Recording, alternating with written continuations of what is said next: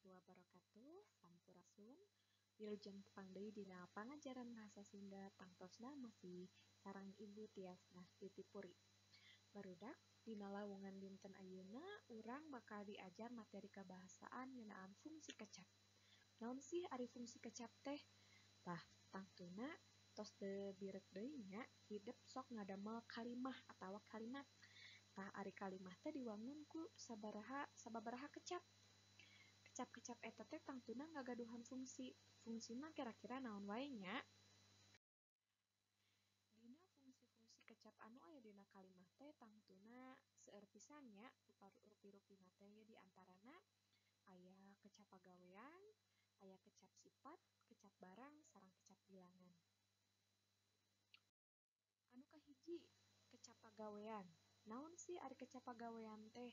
tah di dieu aya wangenan atau pengertian tina kecap pagawean. kecap pagawean nyaeta kecap anu nuduhkeun hiji pagawean atau kegiatan anu dilakukan ku awak urang.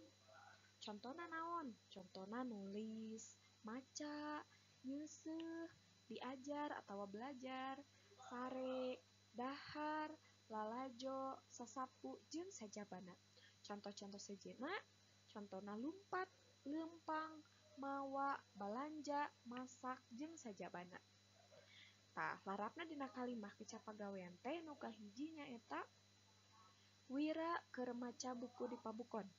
Dina ieu kalimah kira-kira kecap mana anu miboga fungsi kecap pagawean. Yah betul. Kecap maca maca teh tantu miboga kagiatana. Kumaha kagiatana teh? Dimimiti nyokot buku, ngabukaan bukuna, ngabuka lambaran-lambaranana, ningalian kacana, terus aksara-aksara anu aya di jero eta buku ku urang dibaca. Tah tangtu aya kagiatanna nya. Teras anu kadua, hana keur sare dina kursi. Kira-kira mana anu asup kana kecap pagawean? Sare ya. Bu naha sare? Kan sare mah urang cicing di luhur kasur atawa dina sofa atawa dina kursi atawa ngampar. Ya betul, sare memang henteu melukeun kagiatan leuwih. Tapi sare oge kaasup kana kagiatan dina awak urang. Awak urang lamun sare teh kan tangtu aya prosesna ya. Dimimiti nundutan, terus sare urang teh misalna sarena dina kursi. Ya jadi tangtu eta teh mangrupa hiji kagiatan sok sanajan eh e, dina kecap pagaweanana urang henteu merlukeun aktivitas anu leuwih gitu ya. Salajengna aya kecap sifat. Tah, kecap sifat teh naon sih? Wangenan atawa pengertian tina kecap sifat teh nyaeta kecap anu nuduhkeun sifat atawa kecap atawa kata sifat dina bahasa Indonesia ya. Contona naon? Tah, kecap sifat miboga sababaraha e, rupa versi. Anu kahiji nuduhkeun warna. Misalna HP Butias warnana hideung. HP Butias warnana hideung. Tah, ieu teh nuduhkeun sifat warna atawa ngagambarkeun hiji kaayaan barang. Terus anu kadua aya watek. Watekna kumaha? Watekna bisa rajin, bisa pundungan, bisa pinter, bisa calakan, bisa culametan, ya.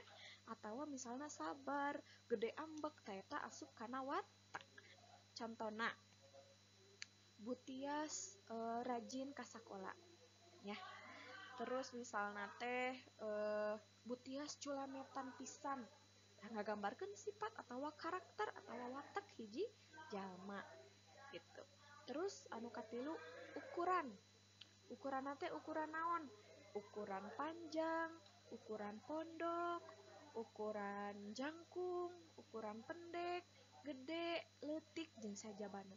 Contona e, Butias mah jalmina teh jangkung alit.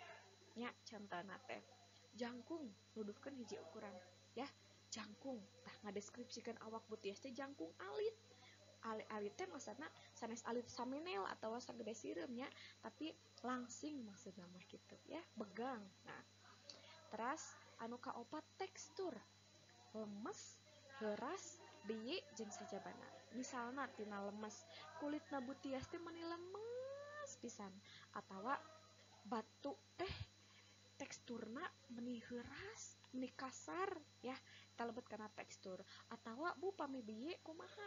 Hidup contohnya misal peyem Bandung ke pasar ya peyem Bandung terus ku hidup tadi cabak aduh iya peyem meni biye kia bangun nu amis. Nah biasa nama eh naon namina teh eh pami peyem anu asak teh kan sok rada biye nya terus amis rasana teh.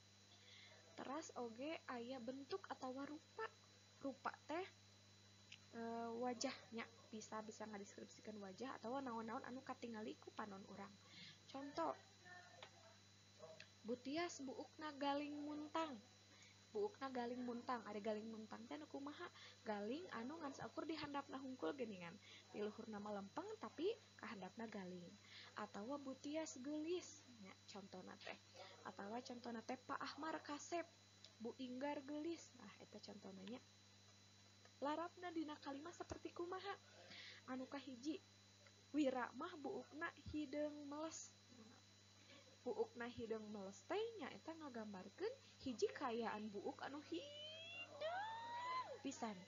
Tanpa ayah warna anu pirang atau ayah beremna atau ayah konengna. Jadi es tuning hidung halus bu teh. Eta ngagambarkan hidung males teras anu kedua Hana mah budak pinter pantesan jadi juara hiji oge.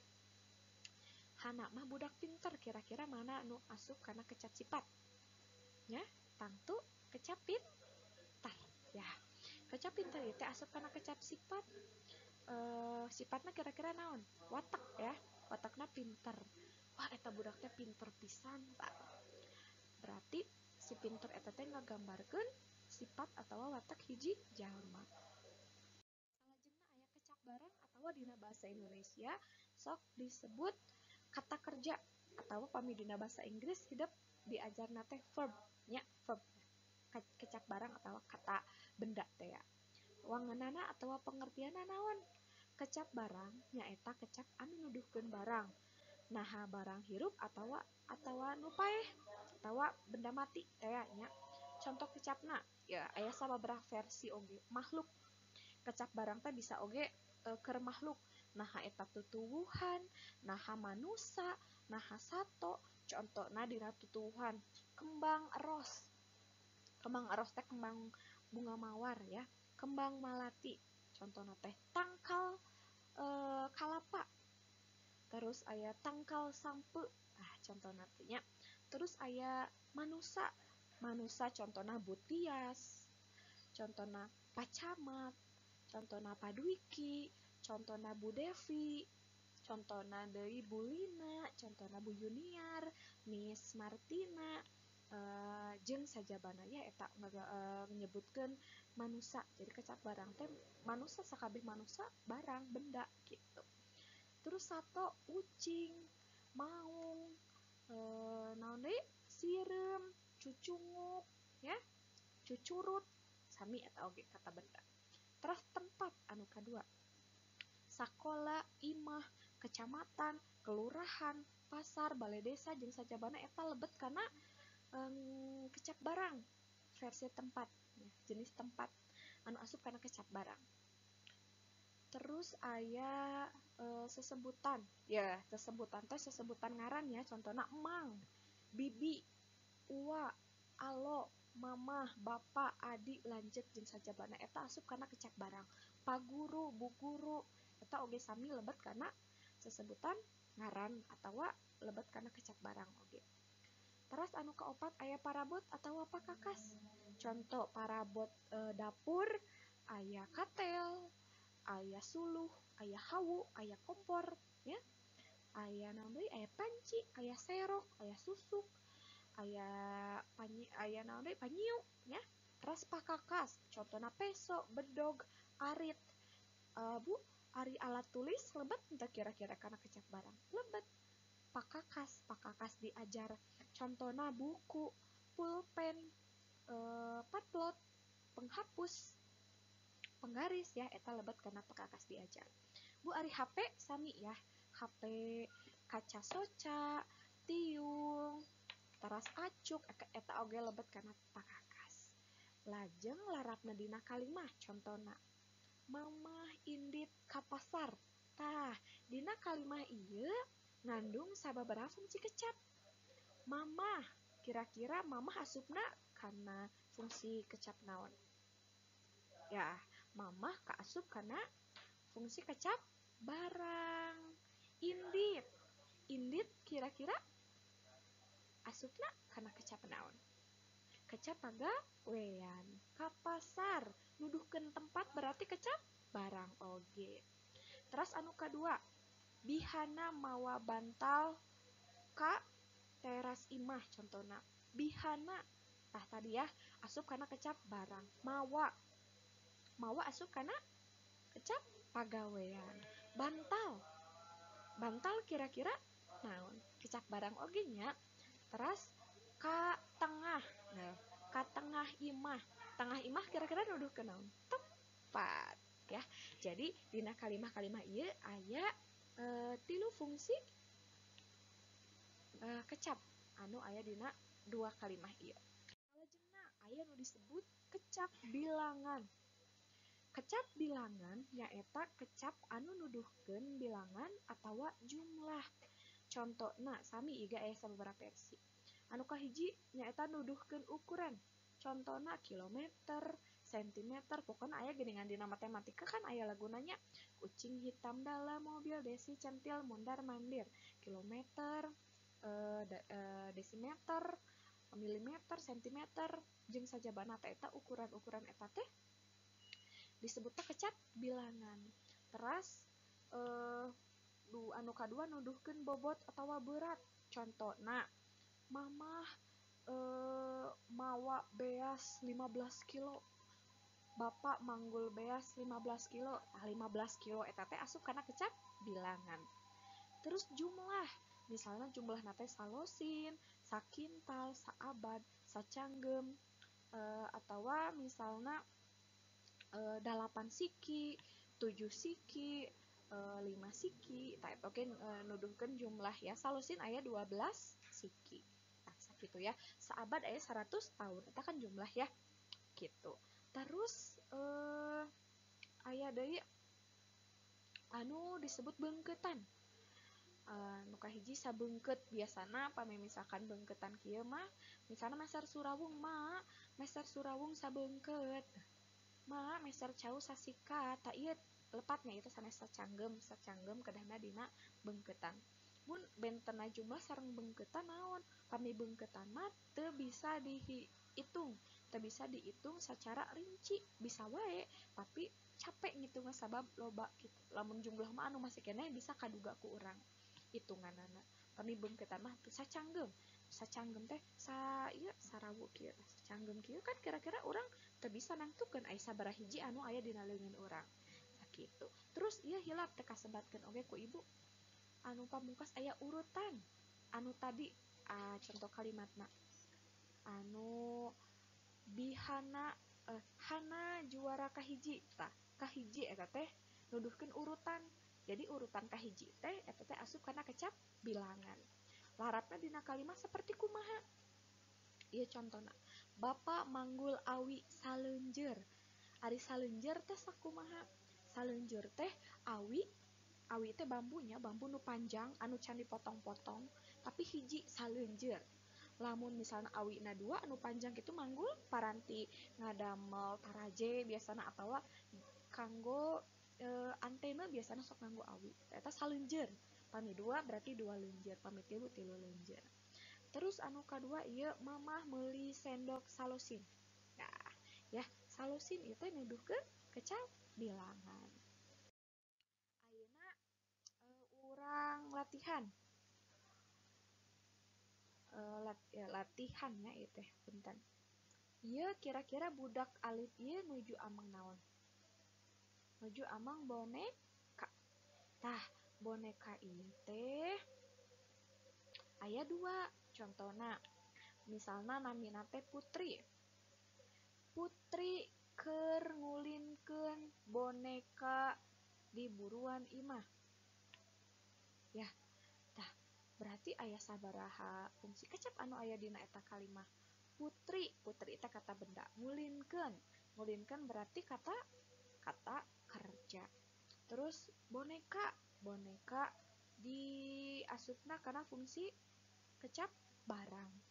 Di teras imah di teras. Nah namun di teras berarti teras naon? Kata atau kecap barang ya. Teras anu salah jena cau sasikat nah iya ayat cau sasikat misalnya contohnya butias meli cau sasikat ayat sababaraha fungsi kalimah dirinya butias asup karena fungsi kecap barang. Meli meli kecap pagawean cau kecap barang. Sasikat kecap bilangan. Ya gitu.